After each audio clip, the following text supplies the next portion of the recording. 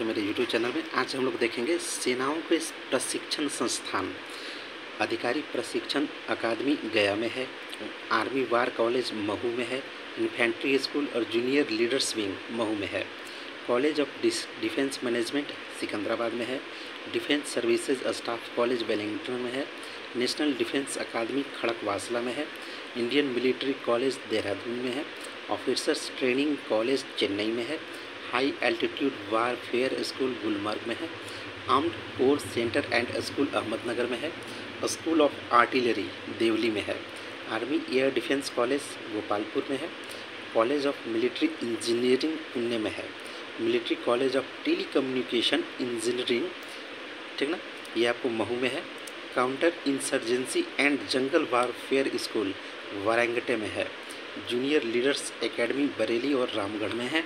इसके अलावा army supply corps centre and college Bangalore में है।